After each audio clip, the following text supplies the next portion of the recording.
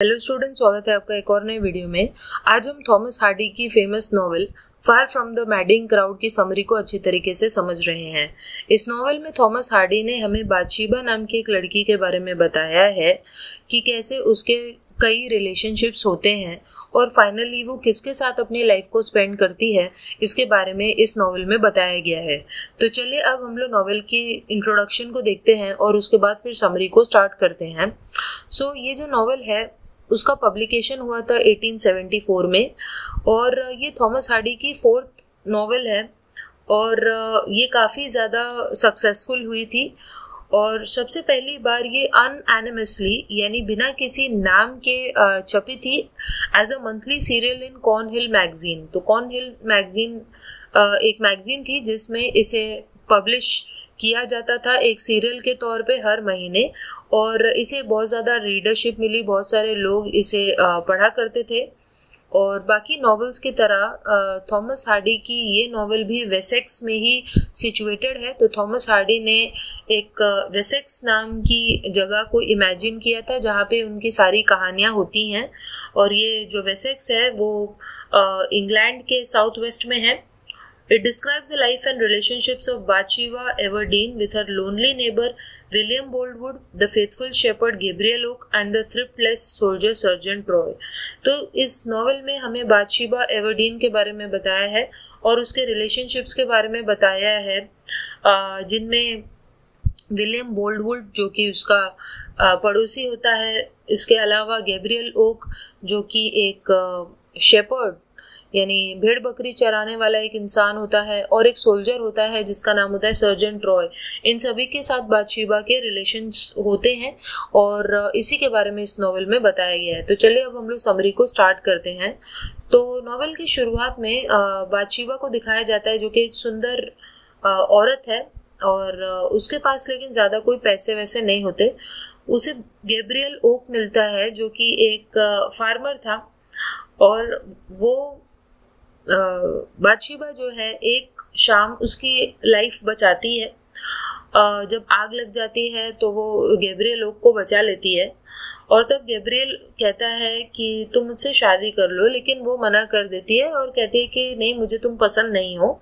उसके बाद फिर बादशीबा को उसके अंकल का बड़ा सा फार्म मिल जाता है इनहेरिटेंस में। उसके अंकल के मरने के बाद सारी संपत्ति बादशीबा को मिल जाती है।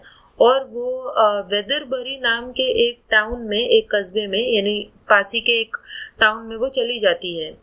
उसके बाद फिर गैब्रियल का जो फार्म होता है, उसके ऊपर एक मुसीबत आ जाती है और उसकी सारी जो भेड़े हैं, उससे छिन जाती हैं और इसीलिए उसे फ़ार्मिंग छोड़ना पड़ता है और काम की तलाश में वो वेदरबरी जाता है और वहाँ पर जब वो एक लोकल फार्म को आग से बचाता है तो वहाँ की जो ओनर होती है, उससे वो पूछता है कि क्या आपको एक शेपर्ड की ज़रूरत है?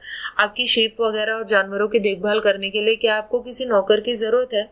तो तब उसे पता चलता है कि वहाँ की जो ओनर है, वो बादशीबा ही है और बादशीबा उसे काम पर रख लेती है। और तब जब बादशीबा अपने फार्म को संभाल रही होती है, तब उसकी मुलाकात उसके नेबर से होती है, पड़ोसी से होती है, जिसका नाम होता है मिस्टर बोल्डवुड।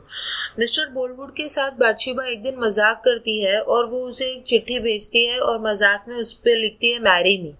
बोल्डवुड को लगता है कि बादशीबा सीरियस है और वो इस बात से ऑब्सेस्ड हो जाता है और इस तरीके से वो उसका सेकेंड शूटर बन जाता है। वो उसे बार बार कहता है कि तुम मुझसे शादी कर लो।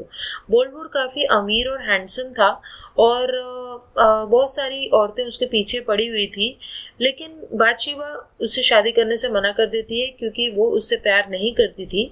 लेकिन बाद में वो फिर से अपने डिसीज़न को रिकन्सिडर करने के बारे में सोचती है।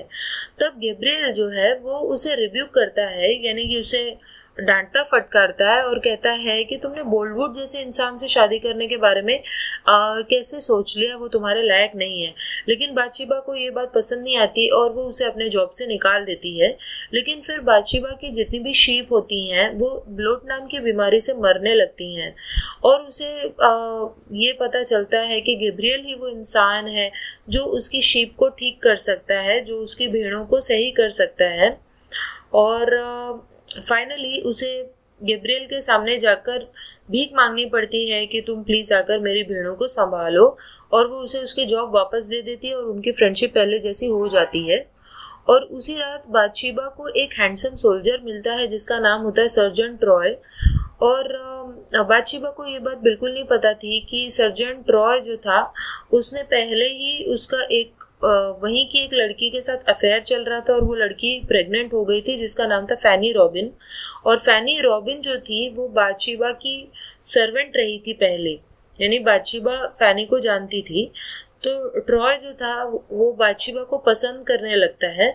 और ये बात बोल्डवुड यानी बादशीबा का जो नेबर है बोल्डवुड उसका जो पड़ोसी है, उसे ये बात बिल्कुल भी पसंद नहीं आती। Bathsheba travels to Bath to want Troy और बोल्डवुड सैंगर बादशीबा बाथ जाती है और ट्रॉय को यानी सोल्जर को मना करती है कि तुम आ, बचकर रहना और वो जो बोल्डवुड है वो बहुत ज़्यादा नाराज़ है। लेकिन फिर भी ट्रॉय कहता है कि तुम मुझसे शादी कर लो। और आ, इतना सब होने पर भी गेब्रियल बादशिबा का फ्रेंड बना रहता है लेकिन वो इस शादी से खुश नहीं था। वो कहता है कि तुम उस सोल्जर के साथ खुश नहीं रहोगी लेकिन फिर भी बादशिबा उस सोल्जर के साथ शादी कर लेती है। उसके बाद फिर आ, आ, शादी के बाद ट्रॉय जो था वो फैनी से मिलने जाता है। फैनी बहुत ही ज़्यादा बीमार थी और गरीब भी थी और बाद में जब वो अपने बच्ची को जन्म देती है तब वो चाइल्ड बर्थ में मर जाती है और दोनों बच्ची और फैनी को एक ही कॉफिन में रख दिया जाता है।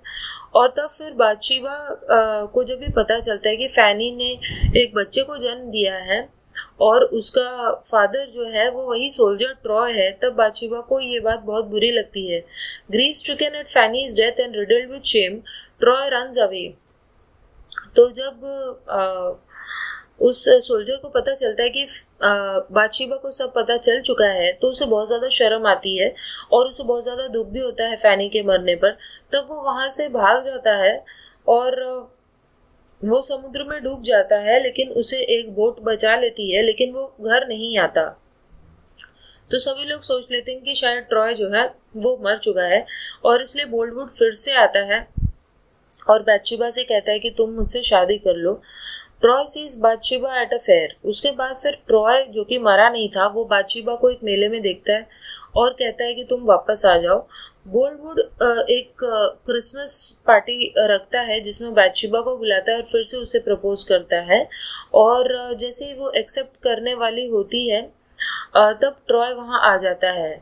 बादशिबा ये सब देखकर चिल्लाती है और बोल्डवुड तभी ट्रॉय को शूट करके मार देता है और इसीलिए बोल्डवुड को उम्र कैद हो जाती है जेल में। और ये सारे प्रॉब्लम्स के दौरान बादशिबा जो थी वो अपने पुराने फ्रेंड और जो उसका ओनली फ्रेंड था रियल फ्रेंड गेब्रियल उसके साथ रहती है। गेब्रियल ही उसका ट्रस्ट वर्दी फ्रेंड साबित होता है। When he gives notice that he is leaving her employ तो जब गेब्रियल कहता है कि मैं अब यहाँ से जा रहा हूँ क्योंकि लोगों को शक है और लोग बोल रहे हैं कि भाई मैं तुमसे प्यार करता हूँ और तुमसे शादी करना चाहता हूँ तो जब वो कहता है कि मैं ऐसे जा रहा हूँ तो बादशिबा रियलाइज़ करती है कि गेब्रियल कितना इम्पोर्टेंट है उसके लिए और वो नहीं चाहती कि वो जाए। और इसीलिए कुछ महीनों बाद फिर बादशिबा गेब्रियल से शादी कर लेती है और तब तक गैब्रियल जो था एक काफ़ी समृद्ध बेलिफ बन जाता है। बेलिफ एक ऑफिसर होता है। तो गैब्रियल अब गरीब भी नहीं था, वो काफ़ी अमीर भी था और इस तरीके से बादशिबा और गैब्रियल की शादी हो जाती है और यहीं पर हमारी स्टोरी खत्म हो जाती है। आई होप आपको ये समझ में आई होगी। तो चलिए अब हम लोग मिलते हैं नेक्स्ट वीडियो में। तब तक के लिए बाय